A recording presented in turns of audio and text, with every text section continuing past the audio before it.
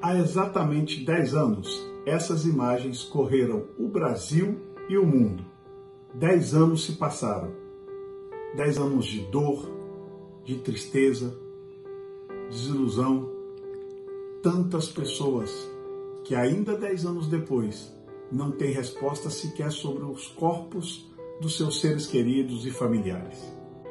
Quero aqui hoje me solidarizar com todas as vítimas das tragédias da região serrana no Rio.